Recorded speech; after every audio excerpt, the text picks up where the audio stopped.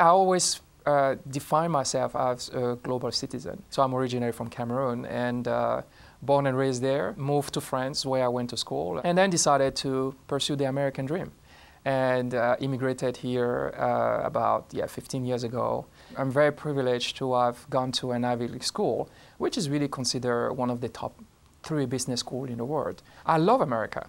I think uh, I have embraced America as my home. Everywhere I've been around the world, but I can't wait to get back home, which is really New York.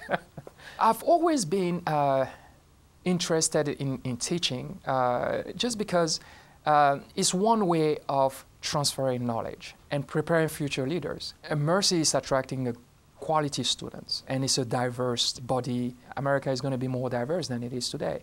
So you have to prepare that group to, to be able to be successful. And I've seen students who ask questions, who are very, very curious, uh, who want to learn, uh, because learning is really a lifetime experience, and, and that's what it takes. And they really, really want to learn. So that means they want to succeed. These are the type of students I want to have and I want to teach.